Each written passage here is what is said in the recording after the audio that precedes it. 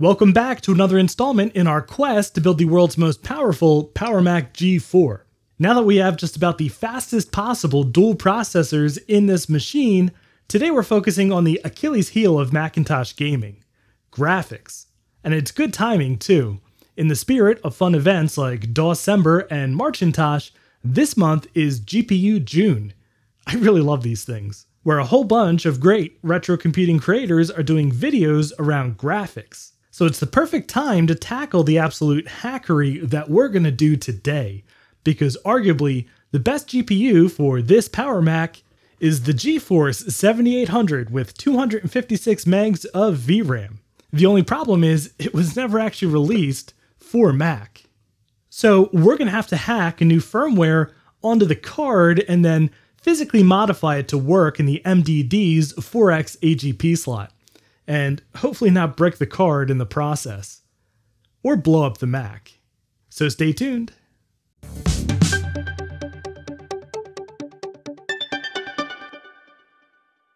And if you enjoy mutilating PC parts to work in old Macs, I hope you'll consider subscribing to the channel. We have many more builds just like this in the pipeline, including a very special and rare machine that we're going to soup up beyond all reason very soon, so definitely stick around for that. In last week's video, we installed an absolutely ludicrous processor upgrade in this machine, a dual 2GHz processor card with much more modern 7448 G4s, which was custom built by Hurd over on the 68K MLA forums. This card took us up to a whopping 1633 Geekbench score, which for context Steve from Mac84 ran the same benchmarks on his dual G5 2GHz PowerMac 7,2, and it scored 1823, which is only 12% faster, not even. And I think that this graphics card can close the gap even further. Well, as long as we can successfully hack the firmware onto it. Now, declaring any graphics card to be the best graphics card is almost as dangerous as applying thermal compound on camera. Lots of people will have different opinions of which card is best for which use case, and often everyone is right for different reasons.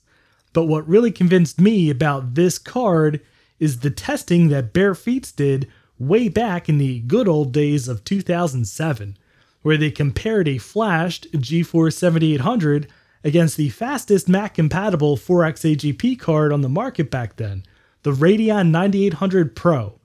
And this GeForce absolutely crushed it in all scenarios and sometimes more than doubled the performance. For example, in their Quake 3 test at 1920 by 1200 max quality, the Radeon 9800 Pro got a respectable 121 frames per second.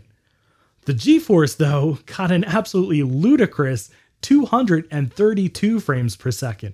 Unreal Tournament 2004 was even more impressive. The Radeon Pro got an acceptable 48 frames per second, but the GeForce demolished that score at an incredible 121 frames per second. And I'm really hoping we can get some similar results. And then we'll see if this makes a difference in classic Minecraft compared to the performance we saw in the last video, which was the CPU upgrade alone. And then I think it would be interesting to try some internet stuff on here, especially trying to play a YouTube video in TenFourFox, which several of you requested in the comments last time. Okay, now before we go any further, I'd like to tell you about the sponsor of today's Mirrored Macintosh Shenanigans, PCBWay. PCBWay has long been the go-to source of PCBs and PCB prototyping for the vintage computing community because of their extremely high quality and their great pricing and turnaround as fast as 24 hours. And now they offer even more services like custom CNC machining, extremely high quality 3D printing. It's really amazing just how much you can get done through a single source PCBWay. So I hope you'll click the link in the description below and give PCBWay.com a try. So the hacked ROM for this card is available on MacElite, which I'll link down below. But to get the ROM onto the card, unfortunately, we're going to need a PC. Good thing we've been down this road before, flashing a GeForce 6200 for the G4 Cube. So all we need to do is dig out the Weird DOS desktop from my packed computer stuff closet, which hopefully is the most difficult part of the project.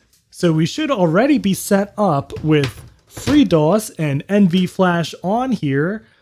Uh, well, actually, it was on a USB flash drive, which appears to be missing. So I'm going to make another USB flash drive. All right, so we'll just have to boot up off of this flash drive with FreeDOS, NV Flash, and the hacked ROM. And uh, I guess we'll need a monitor too. There we go. Just about the farthest thing from what we normally cover on this channel. Alright, so I actually haven't opened this yet before I just started filming, so let's find out together if this is actually a graphics card in there. And I, yeah, I see it through the little cool window in the back. Yeah, it's pretty cool that it came in the original packaging, although it's not new. It is used. Oh wow, it comes with everything. We've got our EVGA driver disk if we were using uh, Windows XP. We have a nice little S-Video cable, one of these handy VGA to DVI adapters, and the card itself, which is very nice and shiny. Wow. And what's interesting about this card is it takes more power than the motherboard alone can provide, and it actually has just this Molex connector four pin connector like you would have for a hard drive or a CD-ROM or something to get the extra power that this thing needs. Now, using this in a Mac, there is a little bit of a caveat. You need to find the one with the correct BIOS, and it has to start with 5.70. Ones that start with 5.71, that's actually completely incompatible. It's a completely different chip, and it won't flash for the Mac. So I guess the next step is let's see if this card actually works and we'll just pop it into the Weird DOS desktop and see if we get a picture. So this desktop is pretty weird. It has only half height cards.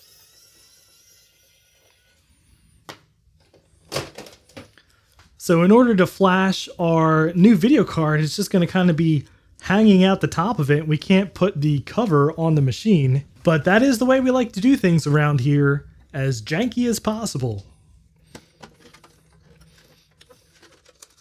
You know, this actually doesn't even fit in here unless we unplug the DVD drive. Not like we need it anyway. And I just noticed we can't even fit the Molex connector in here. We're going to have to remove this whole drive bracket from this case to uh, give this card the power it needs.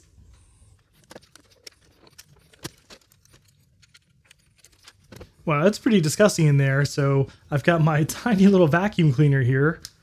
Let's get these dust bunnies out of here. All right, so now we should be able to fit this in here the right way around just fine. And we'll give it some Molex power that used to go to the DVD-ROM. And yeah, let's see if this boots. All right, well, I actually have to take the whole front bracket off. So this will actually fit in the case because otherwise it doesn't make a full connection. All right, so I've got the card installed, sans front bracket, and uh, we've got the monitor plugged into VGA on the new card. Let's power this thing up. And we have video. So the graphics card works and it boots into FreeDOS just fine. So what we're gonna have to do now is actually kind of annoying. I need to put a second PCI graphics card in there boot with video off of this graphics card to be able to flash the AGP card because very annoyingly, this system does not boot up off of the built-in graphics if you have any other graphics card installed. So you actually have to have two graphics cards installed to be able to flash. All right, we're booted off of the PCI graphics card. We have the NVIDIA card installed as well. So now let's try NV Flash. And I think dash B is backup, and we'll do backup 7800.rom. And it found the GeForce 7800 GS and it saved the backup image just fine. That's a good sign. All right, so now if we do a dir, we have 7800.rom. That's the new ROM. So all we have to do is nv flash 456 7800.rom.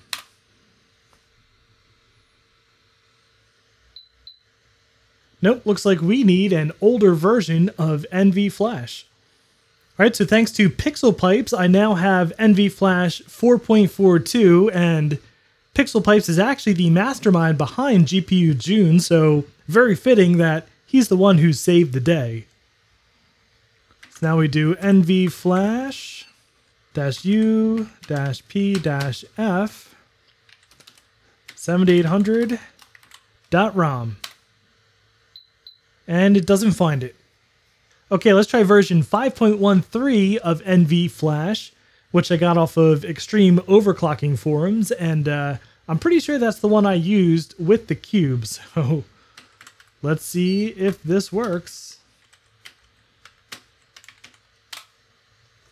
Hey, I think it is working. Update display adapter firmware, press Y to confirm. Supported EEPROM, not found. Okay, so after trial and erroring a couple random versions of NV Flash, I found version 5.57 does see the correct name of the adapter, GeForce 7800 GS, so let's try to flash it. All right, we are getting a lot further. Update display adapter firmware, press Y to confirm. Hey, it's working, storing updated firmware image. It worked. Okay, so remember how I said that this video card takes more power than the motherboard was capable of providing?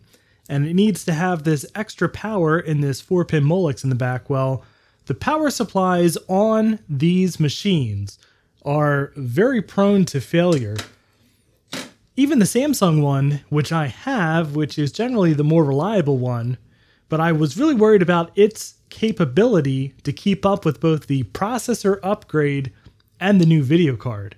Well, I'm happy to say that this problem seems to have solved itself because the power supply has decided to fail completely of its own volition.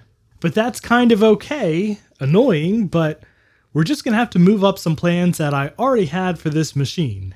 Namely, installing this standard ATX Flex power supply, which is a small form factor ATX power supply. And we need to use this small form factor because the original MDD power supply is this thin kind of completely custom unit. So this needs to be able to fit in the space in the case that the old power supply took up. Now, the one thing is the pinout on the connector for the ATX power supply is completely different than the pinout on the MDD's power supply. So we have to make an adapter cable. And uh, don't pay any attention to all this electrical tape. It's fine. I'm a professional. But in all seriousness, converting an MDD to ATX power isn't really that difficult, and you can find the pinouts to make this cable yourself online and I'll post a link in the description below. And uh, probably you shouldn't just twist the cables together and use electrical tape like I did, but I really just wanted to make sure that the MDD still worked before I went through all the trouble and hassle of picking all the pins out of this connector to rewire this the right way.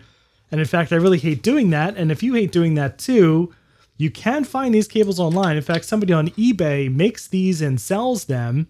They look a little something like this. I did order one of these and uh, a little bit expensive, but worth it because I do not feel like picking all of these pins out and stuff. I'd rather just have somebody else make it. So this particular FSP power supply is really excellent for this purpose because not only does it very nicely fit in the space left by the original power supply, but if you position it on top of the little ledge here, the outlet actually matches up with the hole that's already in the case. And we can just mount it here. I might have to drill a little bit of a hole in the case here, just in this metal bracket. But yeah, this is going to look completely stock from the outside without having to pull any other electrical shenanigans inside the case. So that's very exciting. All right, so we'll just plug in the motherboard cable. And then this motherboard needs just a little bit of extra power, so we will plug in one of these connectors as well. And plug it into the motherboard. Oh, and one unfortunate caveat of doing this ATX mod is that we lose the capability for ADC power, which is what this lovely monitor is built to work with. And if you don't know what ADC power is, well, this monitor only has a single cable coming out of it.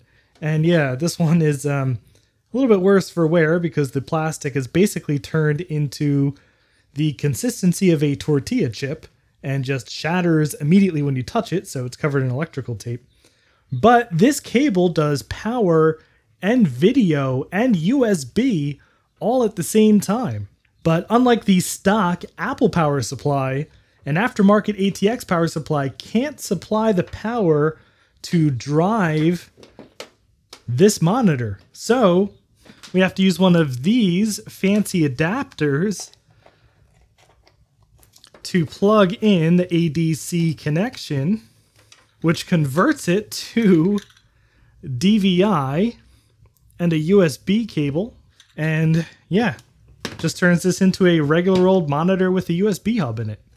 All right, well, funny story. It turns out the original video card either died when the power supply died or the DVI port doesn't work, but I'm not getting any video to the monitor, even though the computer chimes and all the fans and everything spin up. So I found this video card out of, well, I don't really know what it's out of. Probably a blue and white G3 or no, a G4. I don't know. I think it's an NVIDIA card, but this has VGA, so we're going to try this, but unfortunately, I can't find my DVI to VGA adapter, so this monitor won't work, so we'll have to bust out a VGA monitor to test it.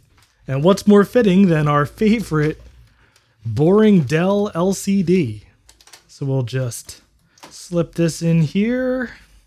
All right, so everything is together. Monitor is plugged in. VGA cable is connected. Let's turn it on.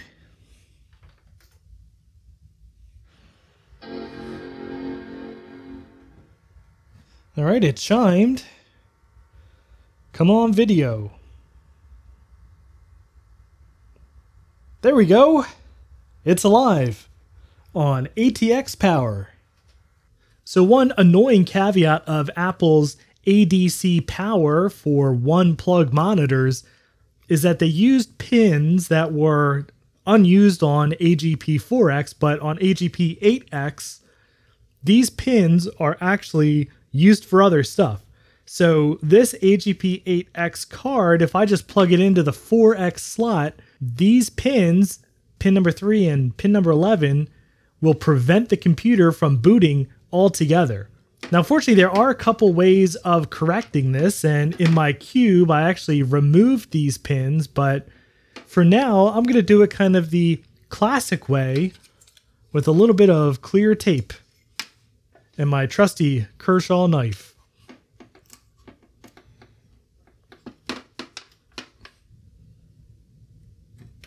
Okay, so the graphics card is installed and it's all taped up and I ran an extra long Molex extension cable to power it.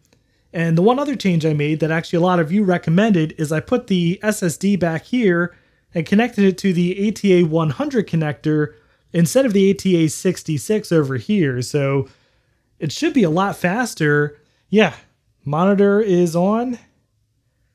Let's see if this thing starts. Hey, the screen's on. it works. Oh my god, it works. there it is. Booting into macOS 9.2 off of our souped up extreme graphics card. That's amazing. I am so excited. Okay, so I've closed this thing back up and we've booted up into Leopard and this is actually super quiet now with the new power supply.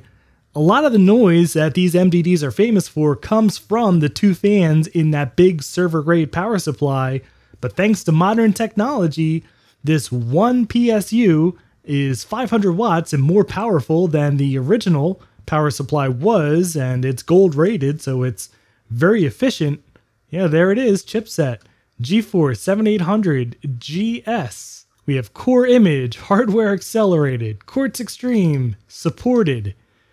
That is beautiful. Absolutely beautiful. And I can see the Quartz Extreme because you can see through the menu bar, it's translucent. These animations are super smooth. They were a little bit choppy before, but now they're beautiful. So I guess it's time to take our new benchmarks. All right, well, benchmarks complete, and I actually ran these a second time because the first time I had a bunch of stuff open and I didn't realize it. But now, benchmarks complete with no other apps running, and we scored 1634, which is an excellent score, but it's also hilarious because it is exactly one point higher than we scored before, 1633. So all that effort for one point in Geekbench, and evidently I forgot to save it before. But yeah, all that effort for an extra one point in Geekbench. But Geekbench really doesn't matter that much. What's more important are real world tests. So first, let's see what this is like on YouTube. All right, this actually loads surprisingly fast. I mean, I don't think I've ever had YouTube results pages scrollable in TenFourFox on a G4 before. But let's take a look at the last video about this very computer and see how it plays. It was built as a no compromises G4 powerhouse, and it was the last of its breed. This is actually playing pretty well. All the controls work well. The frame rate's decent. Let's see what we're playing at 240p. Let's up this to 360. And it's uh, much better quality.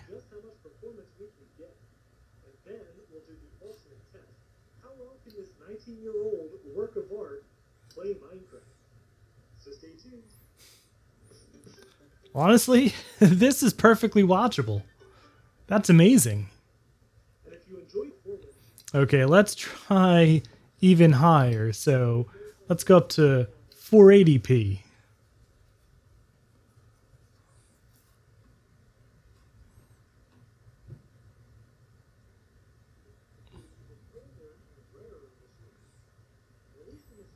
Yeah, it still plays at a reasonable frame rate. Okay, the real test. Let's go back down to 360p. And let's try full screen. Look at that. It's full screen with a decent frame rate. Full screen YouTube at a reasonable frame rate on a G4 Mac. All right, so browsing the internet is fun, but let's do our ultimate test and let's play some Minecraft. And we'll pop into the Action MC server and it looks like we actually have somebody already in there.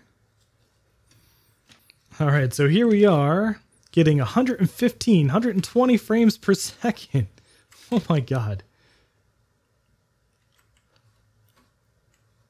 Yeah, so we had a peak there Wow, 150 frames per second. That's amazing. Yeah, look at this hockey rink. Nice. Wow, this is proper fast. 123 frames per second while we're running. Okay, so I think I still have the draw distance down pretty far. Yeah, render distance tiny. Let's put this back to normal and see how playable we are. Wow. Normal draw distance and we're in the 40s. That's amazing. Before, we were lucky to break out of the teens in normal draw distance while we're running around, with dips into single digits. This is making, this graphics card is making more of a difference than I thought it would in Minecraft.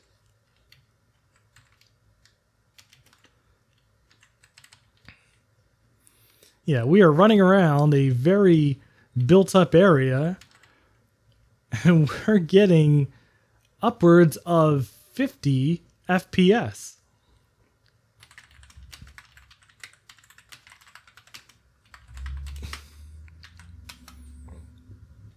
Yeah, this is amazing. We are above 60 FPS running around a built up area. Nice ATI logo here. Pretty fitting, although I guess I prefer NVIDIA now. Look at this. Yeah, I am blown away at the performance here. Okay, so that'll do it for today's installment of this mirrored Macintosh monster. I'm so happy with where we are in this build. We have just about the fastest possible dual G4 processors at 2 gigahertz in this machine, along with the fastest possible video card running flawlessly. And we got incredible performance both on the internet and also gaming, playing Minecraft. I cannot believe we got 60 frames per second, but we're not done with this Mac yet. In fact, I have a bunch of plans in the pipeline, including this SATA card, which supposedly works with macOS 9. And I'm really curious to see if this is faster than the SSD on the SATA to IDE adapter on the ATA 100 connector. I also think we need to do a little more with cooling on this machine because we're running up to 48.6 degrees Celsius, which I think is a little warm. So I want to see if we can shoehorn some other fans in here. But if you like this video, I'd appreciate a thumbs up. And if you'd like to see more monstrous Macintosh shenanigans like this, please subscribe down below. And thank you very much for watching. And a special thanks to Chris, Greg, Justin, Sorta Eclectic, Sting124, and Tom, who are my highest tiered patrons and all of my Patreon supporters for helping to make these videos possible.